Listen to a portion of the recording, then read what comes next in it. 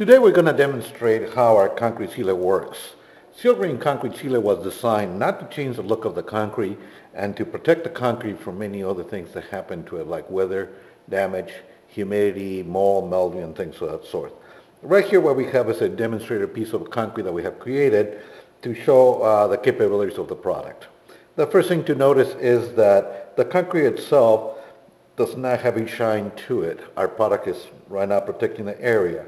This part of the concrete is not protected. The bottom part of this concrete, it is protected. So as we pour water on it, you will be able to notice that the water goes from the dry, the, the non-protected side. You can see the water doesn't even flow or roll down this uh, incline type piece of concrete.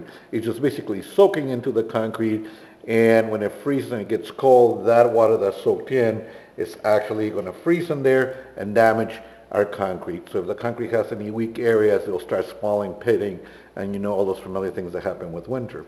So as we put more water on it, we will also notice that the water flows down the concrete itself.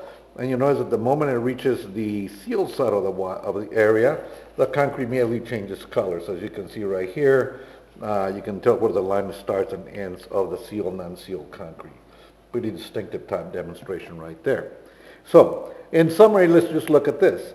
One, the concrete does not change the look of it. It stays looking the same. So all the safety capabilities remain with the concrete. There is no slippery surface. There's no shiny surface. Second, by protecting the water from getting into the concrete, we're protecting all the damage that happens with winter. As you can see here, the water penetrated the concrete, did not penetrate the concrete. It just basically slid right through it in that area. So as we dry this, you will notice that there was very little water to dry here because it's now all in the concrete. Here the water is basically sitting on the surface of the concrete.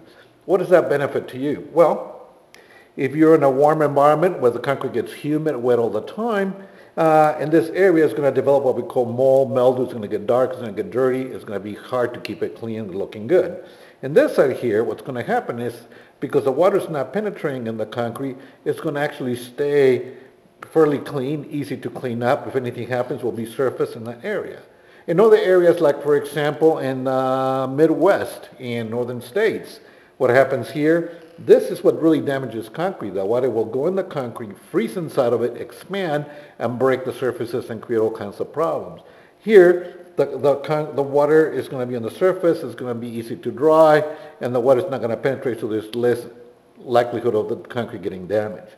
Second thing to know is also that here, the snow, you actually have to shave it off the concrete because it's embedded half into the concrete, half on the surface. Here, the snow will be just sitting on top of it, and it would be very easy just to slide it off. Then again, we avoid the damage to the concrete by trying just to remove the ice.